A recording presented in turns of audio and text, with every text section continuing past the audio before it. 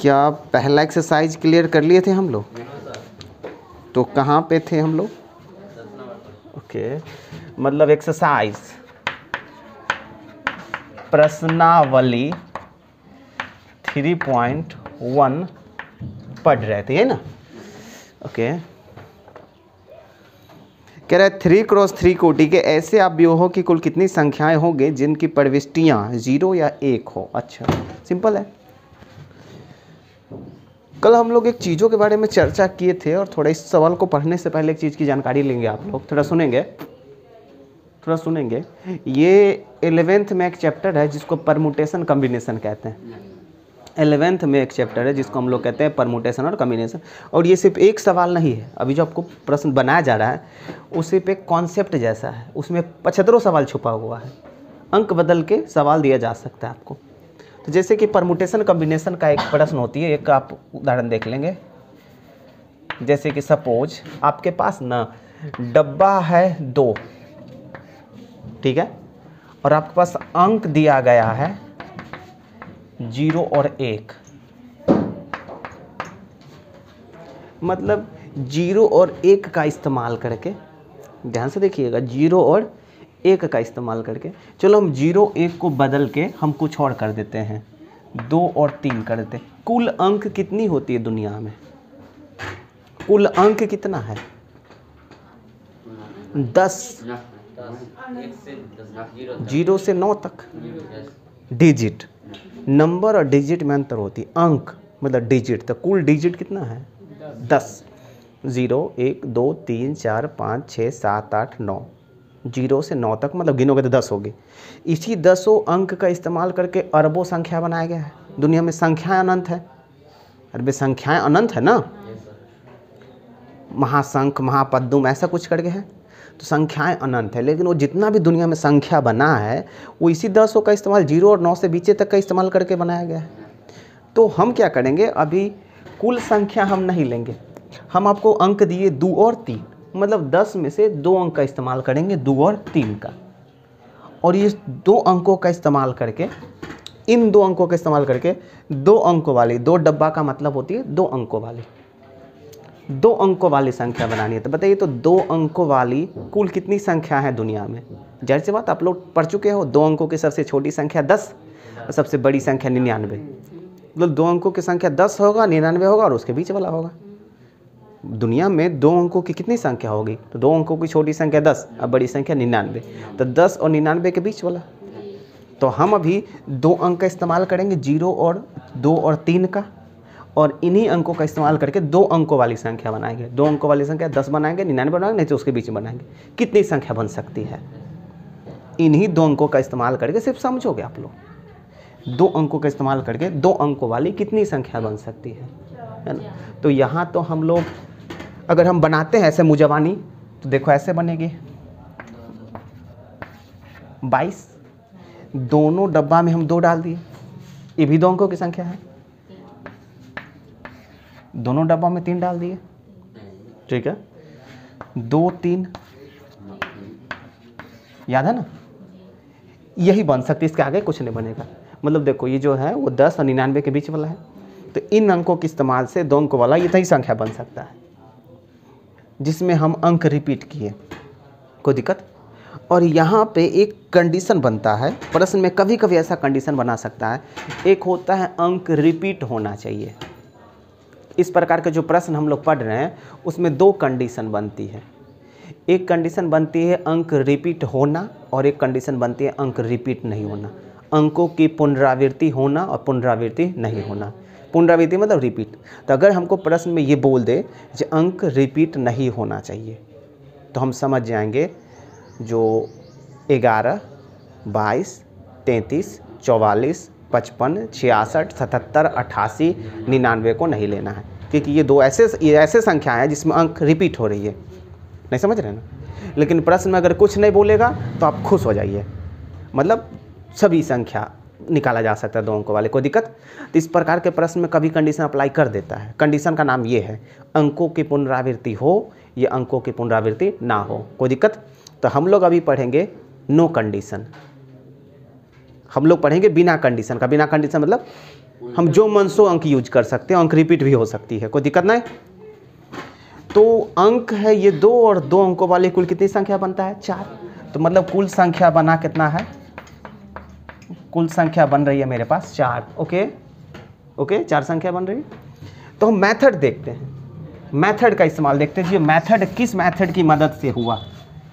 तो थोड़ा सा ये पहला सवाल हो गया। थोड़ा दूसरा सवाल पे थोड़ा देखते हैं तो।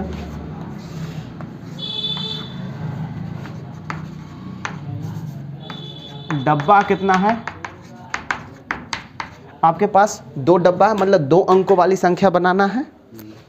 ठीक है? दो अंकों वाली संख्या बनाना, लेकिन अंक जो इस्तेमाल करना है, ये तीन अंकों का इस्तेमाल करना अभी दो ही अंक का इस्तेमाल कर सकते अब आपको इस्तेमाल कर सकते हो दो, तीन, चार का। ये तीन अंकों का इस्तेमाल करके दो अंकों वाली संख्या बनाना है। ज़ाहिर सी बात है, दस निन्यानवे के बीच बनाना है। तो कितनी संख्याएँ बनेगी? थोड़ा दिमाग लगाइए, सोच के बनाइए।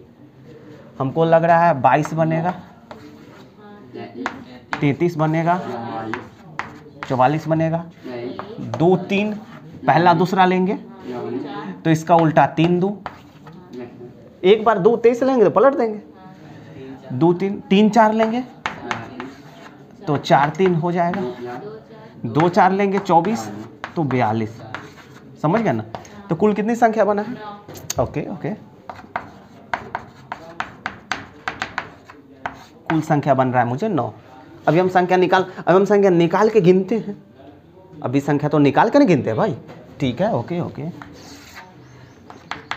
अब हम आपको देते हैं डब्बा, ये तीन, है ना? और अंक जो इस्तेमाल करना है, वो अंक इस्तेमाल करना है दो, तीन, चार और पाँच। मतलब ये चार अंकों का इस्तेमाल करके आप ये तीन डब्बा बना मतलब तीन अंकों की संख्या बनानी है। तो तीन अंकों की सबसे छोटी संख्या सौ और सबसे बड़ी संख्या नौ सौ निन्यानवे। मतलब मेरी जो संख्या बनेगी वो या तो सौ बनेगी या तो नौ सौ निन्यानवे बनेगी तो इसके बीच में से कौन कौन बनेगी? ये नहीं देखना है हमको। और मेरे पास अंक ये चार इस्तेमाल करना है। ऐसे करते करते करते करते प्रश्न कुल कहाँ तक जा सकता है? दस अंक तक जा सकता है। क्योंकि ज़ीरो से लेकर के नौ, दस है दुनिया में दिन। ऐसे करते करते प्रश्न कहाँ तक जा सकता है? दस अंक दिया जाएगा। यही दिया जा सकता। ठीक है? बढ़िया बात है। तो अब बताइए कैसे करेंगे? तो इसके लिए नहीं अंदाज़ा नहीं। अभी तक तो आप निकाल कर नहीं गिनवाए हैं। उसमें भी आप निकाल के गिनवाओगे तो हम आपको कहना चाहेंगे जो परसों हो जाएगा निकालने में। है ना? अब हम इसको प्रोसेस से देखते हैं। उसको थोड़ा रुक जाते हैं। है ना? क्योंकि जब संख्या निकालना देखो यहाँ पे नौ एगो निकालना पड़ा। समझ गए ना? और अगर किसी में पचास गो निकालना पड़ेगा तो बोर्ड ना भर जाएगा। तो अब हम प्रोसेस देखते हैं। मतलब मैथड देखते हैं। मेथड देखते हैं जो कैसे प्रोसेस की मदद से बनती है। तो देखिए इसका नियम क्या है, बनाने का नियम। हम्म नियम क्या है? इसको सवाल को बिना संख्या निकाले हुए कैसे बनता है? डब्बा कितना था? दो। और अंक कितना था? तो इसको ऐसे बनाते हैं। इस घर को भरने के लिए आपके पास कितनी संख्याएँ हैं? दो। तो इस घर में भराएगा दो। समझ रहे हैं? अब ये घर भरा गया। इस घर को भराने के लिए आपके पास दो संख्या हैं। इस घर को भरने की कितना संख्या है? दो। क्योंकि जितना संख्या आपको इस घर में भरने के लिए, उतना ही संख्या नहीं इस घर में, क्योंकि संख्या कभी खत्म होता है। हम बोलेंगे दो भर दिए मतलब दो आपके पास खत्म हो गया। यहाँ पे अंक रिपीट हो सकते हैं ना? हम कहेंगे कि जो दो भर दिया तो मतलब दो खत्म हो गया। कोई वस्तु है ये?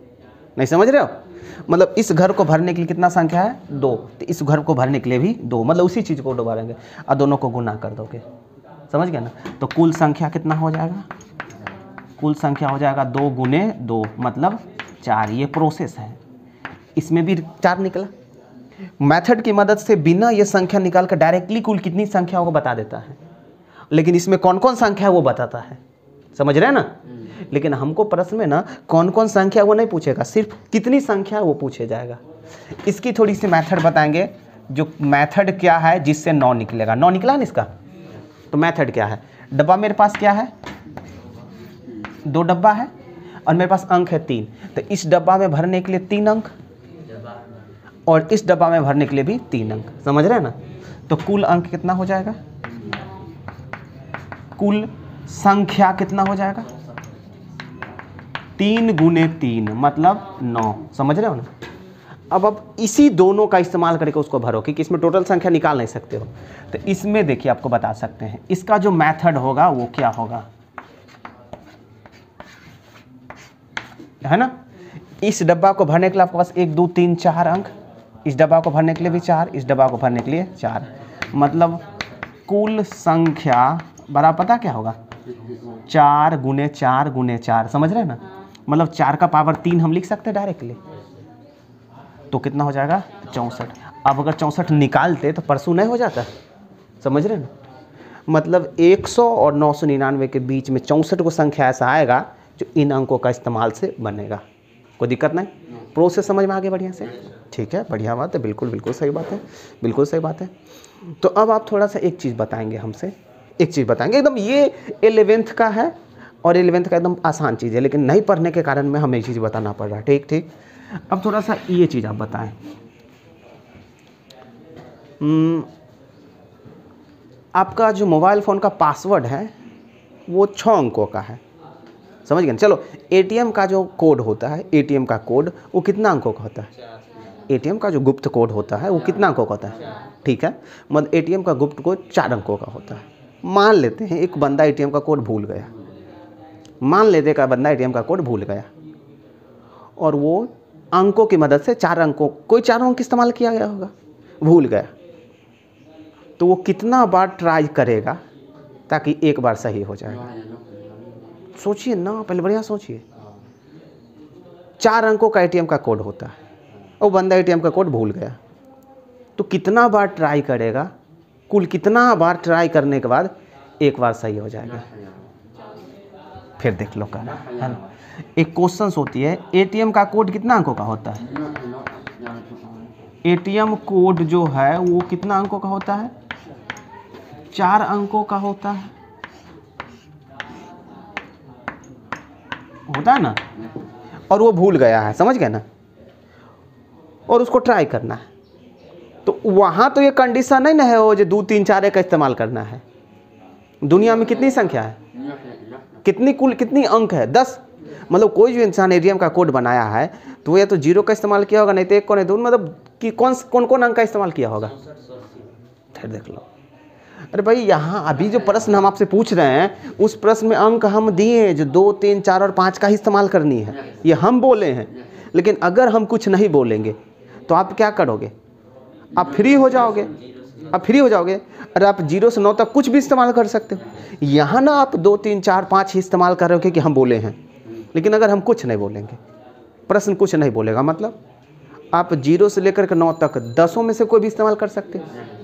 मतलब इस प्रश्न में एटीएम का कोड जब भूल जाते हैं, उस स्थिति में हम जो ट्राई करते हैं, वो कौन कौन चीज़ें टिपते हैं? ज़ीरो से नौ में कुछ भी टिप सकते हैं। तो इस स्थिति में मेरा कुल अंक कितना हो जाएगा? कुल संख्या मतलब मेरा जो अंक है, वो क्या होगा? ज़ीरो, एक, दो, तीन, नौ। समझ रहे कि नहीं मेरी बातों को? अरे भाई, इसी है ना? और हम भूल चुके हैं। मतलब अब हमें दस अंकों की मदद से चार अंकों वाली संख्या बनानी है। यही कहने का मतलब है, दस अंकों की मदद से चार अंकों वाली संख्या बनानी है। कितनी संख्या बनेगी? जितनी संख्या बनेगी, उसी में से कोई एगो सही होगा। समझ रहे हैं ना? तो चार अंकों वाली संख्या बनानी है कितनी अंकों की मदद से? दस अंकों की मदद से। कोई दिक्कत नहीं ना? तो यहाँ पे कुल कोड कितना बनेगा? कुल कोड, कुल संख्या, क्योंकि प्रत्येक संख्या एक कोड है। तो कुल कोड कितना बनेगा?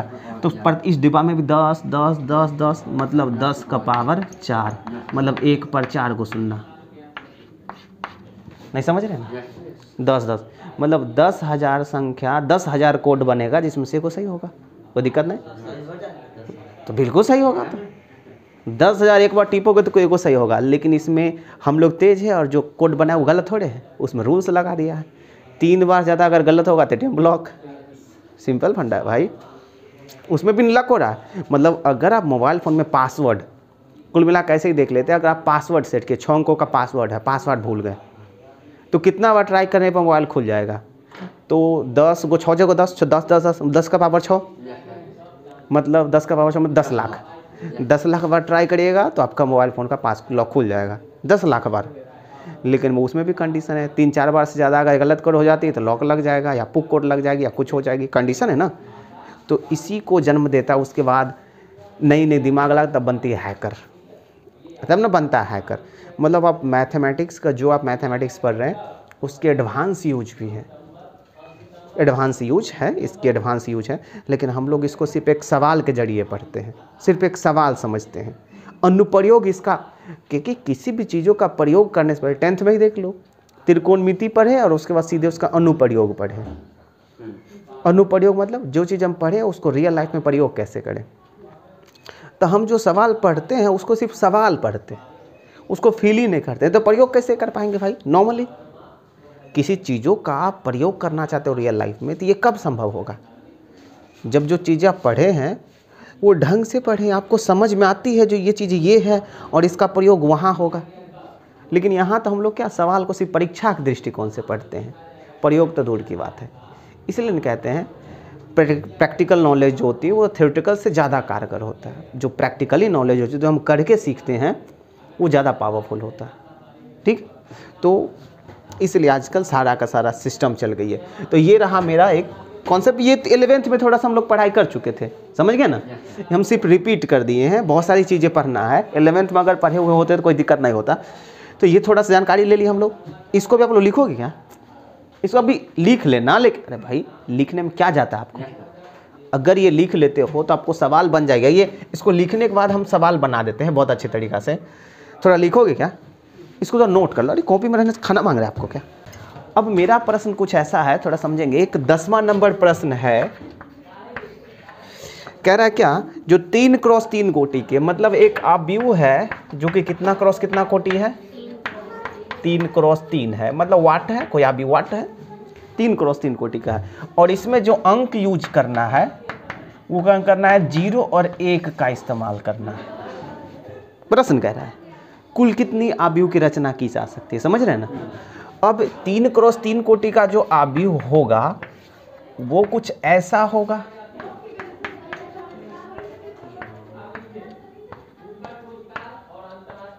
याद है आपको? कुछ ऐसा होगा, इसमें नौ स्थान होगा। कुल मिलाकर के नौ स्थान को नौ डब्बा समझे। मतलब ये जो नौ स्थान इसको नौ डब्बा समझे। नहीं समझे ना? नौ को खाली स्थान, नौ को डब्बा। और इस नौ डब्बा को भरने के लिए मेरे पास दो अंक है, ज़ीरो या एक। इसी दोनों का इस्तेमाल कर सकते हैं। कोई प्रॉब्लम से का तो मेरे पास दो अंक है, ज़ीरो या एक। ज़ीरो भर सकते, एक भर सकते, नहीं तो दोनों भर सकते हैं। ठीक? ज़ीरो और एक रहता मतलब ज़ीरो और एक को भरना, ये दोनों को भरना है। तो यहाँ पे कंडीशन है जो, मेरे पास डब्बा कितना है? नौ। और संख्या कितना है? दो। तो इस अभी जो प्रोसेस है तो कुल आप व्यू कुल आब्यू जैसे वहाँ पे कुल कोड निकाले थे ना हो तो कुल आब्यू बताइए तो सब जगह पे क्या भरा जाएगा? दो दो दो दो। समझ रहे ना नौ? गो स्थान है। और नौ स्थान पर इसी दोनों को भरना है। तो दो दो दो मतलब नौ गो दो। नहीं समझ रहे का नौ गो दो मतलब दो का पावर नौ। पाँच सौ बारह। कोई दिक्कत? है ना? मतलब अगर आप लोग अनजान के देखिएगा तो किसी को दिमागों में नहीं आएगा जो पाँच सौ बारह इसका उत्तर हो सकता है। नहीं, अगर बिना जिसके पास, जिसका कॉन्सेप्ट थोड़ा कमज़ोर है तो प्रश्न को उत्तर देख करके लगू, उसके दिमाग में आएगा पाँच सौ बारह। अठारह हज़ार पर टिक मारेगा, सत्ताईस हज़ार पर मारेगा, इक्यासी हज़ार पर मारेगा। है ना? तो ये लेकिन चलो एक सवाल इसमें ढेर सारा सवाल ना छुपा हुआ है। चलो, इससे एक और हम प्रश्न लेते हैं, अपना मन का प्रश्न लेते हैं। एक और अपना मन का प्रश्न लेते हैं। मेरे पास जो एक आव्यू है, जो कि ऐसा है, हम बोलेंगे तीन क्रॉस दो कोटि का है। क्या है? तीन क्रॉस दो कोटि, ठीक है? अब मेरे पास जो अंक इस्तेमाल करना है, इसकी जो प्रविष्टियाँ अव्यव इस्तेमाल करनी है, वो ज़ीरो, एक और दो। यही इस्तेमाल करना है। कोई दिक्कत? मतलब इस्तेमाल करना, ये तीनों अंक में से, यहाँ दोनों था? हम तीनों। तब कुल कितना आव्यू होगा? तब कुल कितना आव्यू होगा? मतलब मेरे पास छः स्थान है। क्योंकि तीन क्रॉस दो कोटे में छः स्थान होगा। तो छः स्थान पर तीन तीन तीन तीन भरना है। मतलब हम तीन को पावर छः कह सकते हैं। तो तीन का पावर छः मतलब सात सौ उनतीस होगा। कोई दिक्कत? कोई दिक्कत नहीं? ना ऐसा ही मेरा क्वेश्चन है एक आव्यू है जो कि दो क्रॉस दो कोटि का है। ठीक है? और मेरे पास जो अंक है वो अंक है चार और पाँच। इसी दो अंकों का इस्तेमाल करना है। तो बताइए तो कुल कितना आव्यू बनेगा? मतलब मेरे पास दो अंक है और दो क्रॉस दो कोटि में चार को स्थान है। तो चारों जगह पे दो दो दो मतलब दो का पावर चार मतलब सोलह। समझ रहे हैं ना? तो एक प्रश्न दे के उसका वो जाति बता दिया हमको। अब प्रश्न में कोटि बदल देगा, अंकों की संख्या बदल देगी, फिर भी आप सवाल बना दोगे। दिक्कत नहीं होना चाहिए। हम टेस्ट में आपको तरह तरह की चीज़ें करके फ्रेश रखेंगे। दिक्कत नहीं होना चाहिए। तो ये रहा आप लोग का प्रश्न नंबर दसवा। लिखना चाहोगे थोड़ा सा तो लिख लो। ये लिखना ही बनता है। अब आप लोग अगला कॉन्सेप्ट हम लोग पढ़ना स्टार्ट करेंगे, है ना? नई एक्सरसाइज के लिए, जो कि कुछ इस प्रकार की होगी। अव्यू का योग, अंतर, जोड़ और घटाव। ध्यान से देखिएगा अव्यू का योग, अंतर मतलब जोड़ घटाव पढ़ रहे हैं हम लोग। सिंपल है, बहुत बढ़िया है। दो अव्यू को जोड़ने के लिए दोनों की कोटियाँ समान होना चाहिए। मतलब योग अंतर होने का ना, जो शर्त है, यहाँ पे हम लिखेंगे जो शर्त है, वो क्या होगा? कोटियाँ।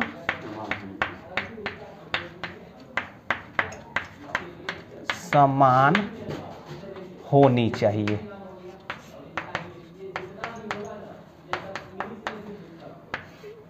उसका शर्त क्या है? कोटियाँ समान होनी चाहिए। शर्त शर्त मतलब समझिए ना? ये कंडीशन अप्लाई होगा तभी सम, जोड़ घटाव संभव होगा। तो अवयव की अवयव को जोड़ने घटाने के लिए उसका शर्त क्या है? कोटियाँ जो है वो समान होनी चाहिए। ठीक? बढ़िया। तो थोड़ा जोड़ घटाव का देख लेते हैं हम लोग अवयव को जोड़ घटाओ तो ज़ाहिर सी बात है उदाहरण के तौर पे हम देख लेते हैं एग्जाम्पल्स के तौर पे। एक अवयव मेरा पास है ए जो कि है चार पाँच दो तीन ज़ीरो और एक। और एक अवयव है बी ज़ीरो, दो, माइनस एक, चार, पाँच और सात। इसकी कोटियाँ कितना है? तीन क्रॉस दो। अरे भाई, तीन क्रॉस दो है ना? इसकी भी तीन क्रॉस दो। मतलब ये दोनों अवयव को अगर हम जोड़ने के लिए कहा जाए प्रश्न में, अगर आपको बोले जो ए और बी को जोड़ो तो क्या आप जोड़ दोगे? पहले ए को लिखोगे, चार, पाँच, दो, तीन, ज़ीरो, एक, फिर बी को लिखोगे ज़ीरो दो, माइनस एक चार, पाँच और सात। और दोनों को जब जोड़ोगे आप तो संगत अवयव को जोड़ोगे। मतलब दो अवयव को जोड़ने का मतलब होती है संगत अवयव जुड़ जाना। मतलब संगत अवयव का मतलब क्या है? अगर इसको उठा के इस पर रखेंगे, जो जिसको ढकेगा, वो संगत अवयव कहलाएगा। मतलब चार के साथ ज़ीरो जुटेगा तो चार प्लस ज़ीरो बराबर, चार, पाँच प्लस दो बराबर, सात। दो माइनस एक बराबर एक, तीन चार, सात, ज़ीरो प्लस पाँच पाँच, एक और सात, आठ। अवयव का जोड़ संभव हो गया ऐसे ही घटाव होगा। अगर हमको ए माइनस बी करने के लिए बोले तो समझ जाएँगे हम। पहले ए लिखना पड़ेगा। ए कहाँ गया? चार, पाँच, दो, तीन, ज़ीरो, एक। अब घटाव का सिंबल लगाएँगे। ज़ीरो दो। ओके। और हम दोनों को घटाएँगे। तो चार में से ज़ीरो गया, चार। पाँच में से दो गया, तीन। दो माइनस माइनस एक, प्लस हो जाएगा तो तीन नहीं हो जाएगा? क्योंकि दो माइनस और माइनस एक, प्लस एक। तीन में से चार गया तो माइनस एक, ज़ीरो में से पाँच गया तो माइनस पाँच, एक में से सात गया तो माइनस छः क्या जोड़ घटाओ तो काफ़ी सिंपल है, इसमें तो कोई दम नहीं है है ना? लेकिन फिर भी जानकारी लेना ज़रूरी है। तो जोड़ घटाव क्लियर कर लिया। ठीक है, बिल्कुल ठीक। अब आप लोग देखोगे प्रश्न में अव्यूहों का गुना। अव्यूहों का गुना।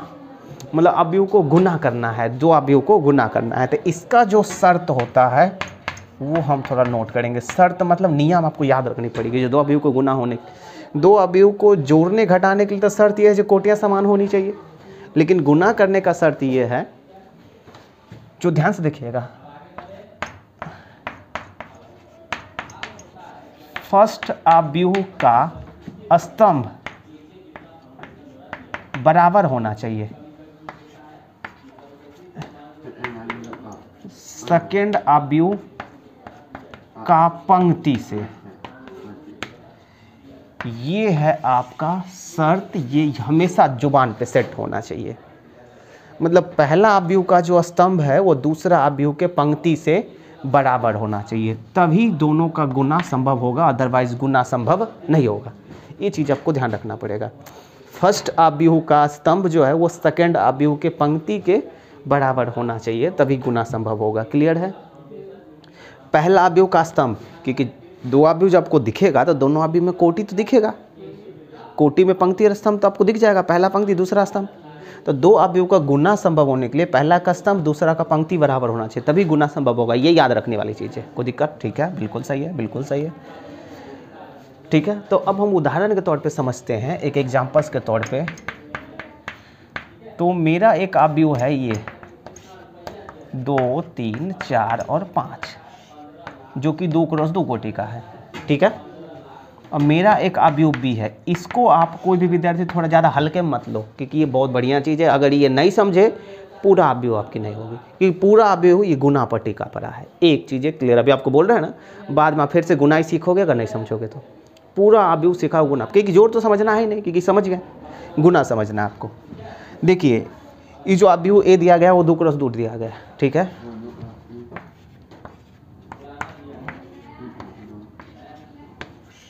और ये दो क्रॉस तीन कोटि का हम एक बी दे दिए। मतलब दो आव्यूह आपको दिया गया है। ज़ाहिर सी बात है, दोनों की कोटियाँ समान नहीं हैं। ये दोनों जुट नहीं सकता है, घट नहीं सकता है। अरे, दोनों को जुटने, घटने के लिए कोटियाँ समान होनी चाहिए ना? लेकिन इसकी कोटियाँ अलग अलग है। मतलब ये जुट नहीं सकता है, घट नहीं सकता लेकिन गुना हो सकता है। क्योंकि गुना होने का शर्त है जो पहला आव्यूह का स्तंभ। दूसरा आव्यूह के पंक्ति के बराबर नहीं। है पहला आव्यूह का स्तंभ दो और दूसरा का पंक्ति दो। दोनों बराबर है? दो दो बराबर नहीं होता? है समझ रहे हो ना? तो पहला आव्यूह का स्तंभ, दूसरा आव्यूह के पंक्ति के बराबर है। मतलब ये दोनों गुना संभव होगा। मतलब गुना संभव होगा मतलब दोनों का गुना हो सकता है। अब, अभी तो इतना समझे ना जो गुना होगा। अभी तो आप इतना समझे ना, हम ऐसे थोड़ा सा लिखना चाहेंगे।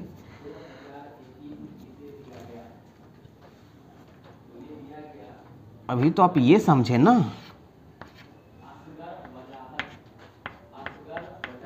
अभी तो आप ये समझे ना जो दोनों का गुना होगा। लेकिन आप गुना करिए और गुना करने के बाद नई चीज़ें जो पैदा होगा वो लाइए।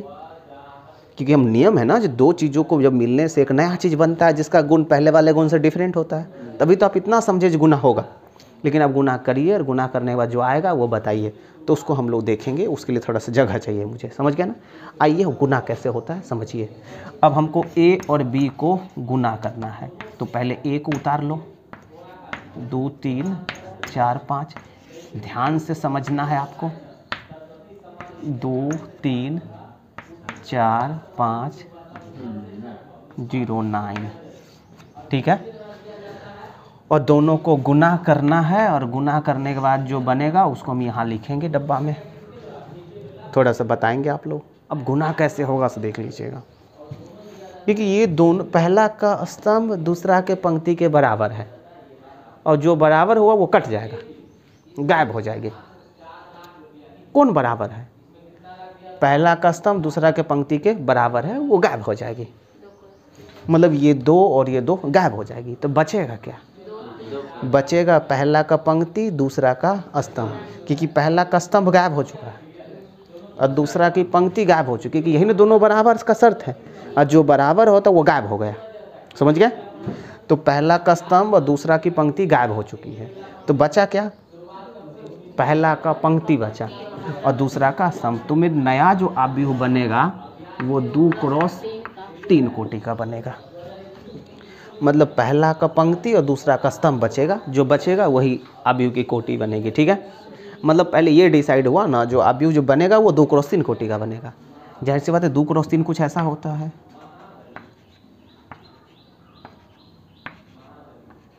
ऐसा ही होता दो क्रॉस तीन? दो क्रॉस तीन ऐसा ही होता है? अब ये छः अवयव डालना है आपको। अब ये छः अवयव डालना है। समझ रहे हो ना? अब छः अवयव कैसे डालेगा? देखिए कैसे डाला जाता है। सो ध्यान से देखिएगा। गुना ऐसे होती है।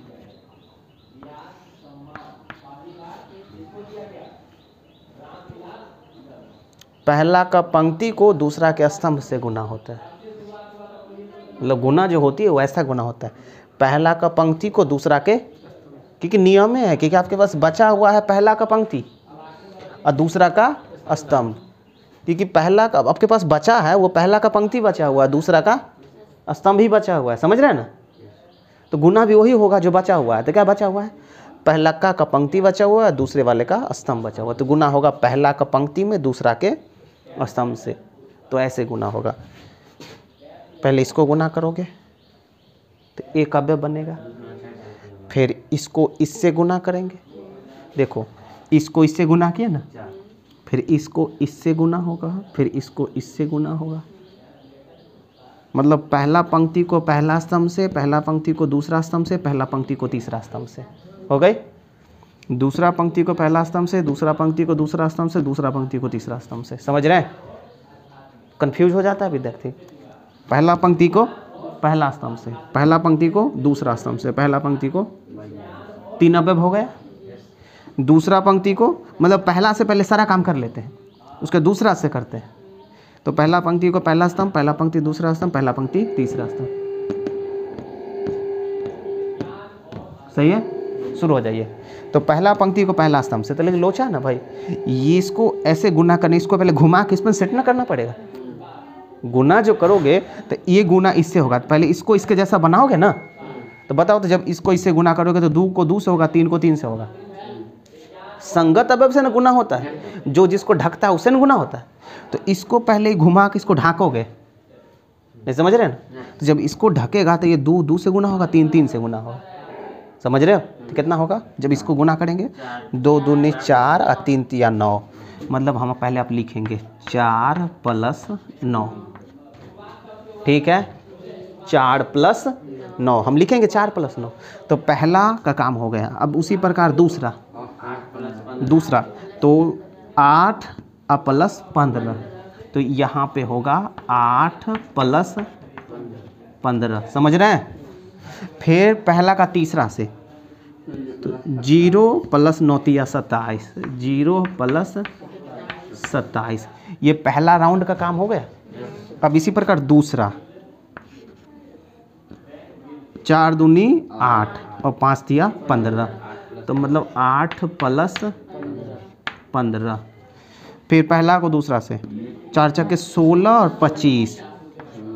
सोलह प्लस पच्चीस। ज़ीरो और प्लस नौ पंचे पैंतालीस।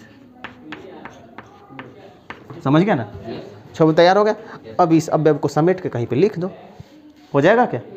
अब इसी को कहीं लिख देना है। हो जाएगा ना भाई? अरे हो जाएगा। नौ प्लस चार तेरह, ये इसको लिख देना आपको। कोई दिक्कत? आप एक स्टेप बढ़ा लेना। मेरे पास जगह नहीं, इसलिए नहीं बढ़ा पाए। कोई दिक्कत? तो जोड़ घटा तो काफ़ी सिंपल लेकिन गुना में थोड़ा सोचना पड़ेगा ना। तो गुना पर ही पूरा चैप्टर निर्भर है। तो आपको इसे लिख लेना चाहिए। दो अवयव का गुना के रूप में शर्त लिख लो, उसके बाद सब कुछ लिख लो। खाली करिए और जोड़ घटा गुना ही सीखने से आपका दूसरा एक्सरसाइज बन जाएगी, तीसरा भी बन जाएगी।